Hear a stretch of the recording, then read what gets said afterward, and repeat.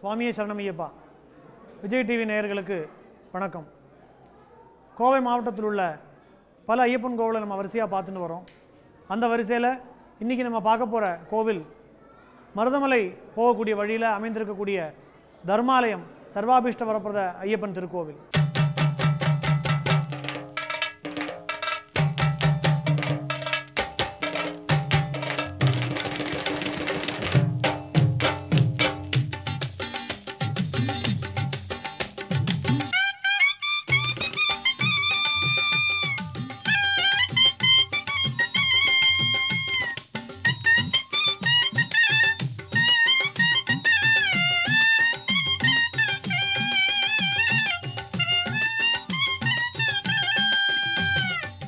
ஐயப்ப பக்தர்களுக்கு எந்த இடத்துல சுவாமி கோவில் குடிக்கொண்டிருந்தாலும் அதெல்லாம் பார்க்க பார்க்க பார்க்க ஆனந்தம் உண்டாகும்.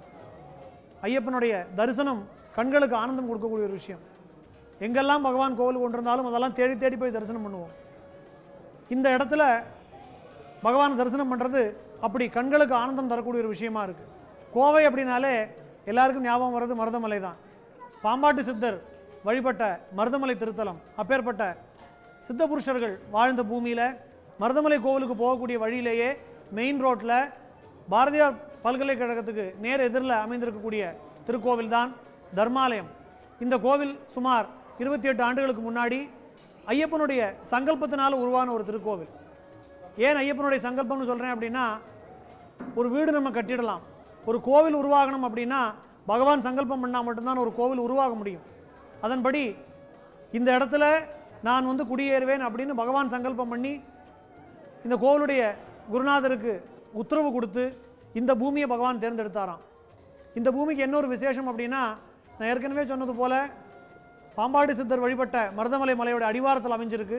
அது மட்டும் இல்லாமல் சாக்ஷாத் பரமேஸ்வரன் இங்கே சுயம்புலிங்க வடிவத்தில் குடியிருந்த பூமியா என் தந்தையுடைய பூமியில் நான் வந்து அமர்ந்து பக்தர்களுக்கு அருள் பாலிப்பேன் அப்படின்னு பகவான் தீர்மானம் பண்ணி அவர் உத்தரவு கொடுத்ததின் பேரில் இந்த கோவில் உருவாயிருக்கு. இந்த கோவிலுக்கு அதனால தான் தர்மாலயம் அப்படின்னு பேர். தர்மசாஸ்தாவான மணிகண்டன் தனக்கு இஷ்டப்பட்டு ஆசைப்பட்டு வந்து குடிகொண்ட ஒரு பூமி. இந்த ஆலயத்தில் மலைக்கு போகக்கூடிய ஐயப்பன்மார்கள் வந்து தங்கி செல்வதற்குண்டான வசதியும் அவர்களுக்கு அன்னதானமும் அவர்களுக்கு என்னெல்லாம் கைங்கரியம் பண்ண முடியுமோ அத்தனையும் தொடர்ந்து நடந்துட்டுருக்கு. மண்டல காலத்தில் பகவானுக்கு விசேஷமான பூஜைகள் நடக்கிறது. பலவிதமான வழிபாடுகளும் பூஜைகளும் அபிஷேகங்களும் சுவாமிக்கு தொடர்ந்து நடந்துட்டு இருக்கக்கூடிய அற்புதமான ஒரு திருக்கோவில். இன்னைக்கு சுவாமிக்கு விசேஷமான புஷ்பாபிஷேகம். தீபஜோதி ஸ்வரூபனாக இருக்கக்கூடிய சுவாமிக்கு கோவில் முழுவதும் லட்சதீபம்னு சொல்லக்கூடிய தீப அலங்காரம் பண்ணி சுவாமிக்கு அந்த தீபஜோதியில் சுவாமி ஆவாகனம் பண்ணியிருக்கோம். பகவானுக்கு ஜோதி ஸ்வரூபன் அப்படின்னு பேர்.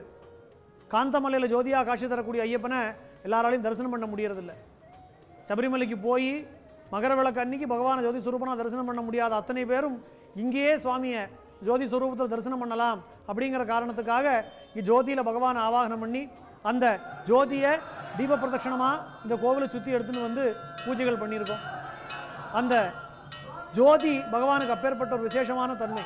ஏன்னா அந்த ஜோதிக்கு என்ன ஒரு விசேஷம் அப்படின்னா உருவம் இருக்கக்கூடிய தன்மை உருவம் இல்லாத தன்மை. நெருப்புக்கு அப்பேற்பட்ட ஒரு விசேஷம்.